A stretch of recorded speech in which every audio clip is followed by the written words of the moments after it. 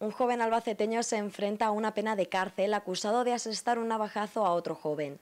Esta mañana se ha celebrado el juicio en la Audiencia Provincial de Albacete, donde el acusado ha explicado que su intención era utilizar la navaja para intimidar, pero no para herir. No, yo cuando, cuando, fue, cuando fue a pegarme, ya me, me eché para atrás y como tenía el brazo un poco estirado, pues se ve que ahí le di sin querer, pero yo no iba con intención, yo iba con intención de hablar con su padre y con él. El conflicto surge por una discusión que la víctima tuvo en las inmediaciones de un instituto con el sobrino del acusado, que es menor de edad y parece una discapacidad.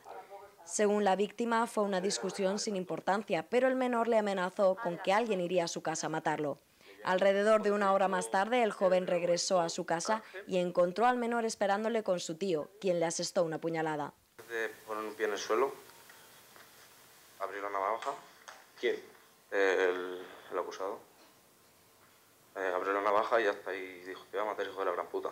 La víctima estaba acompañado por su novia en el momento de los hechos, quien presenció la agresión y ha confirmado en su declaración que su pareja fue amenazada en el instituto. Que lo iban a matar y que lo iban a estar esperando en la puerta de su casa. Eso lo oyó usted perfectamente. Eso lo oí yo perfectamente. La acusación particular pide 11 años de cárcel y la defensa 2 para el acusado. El juicio ha quedado visto para sentencia.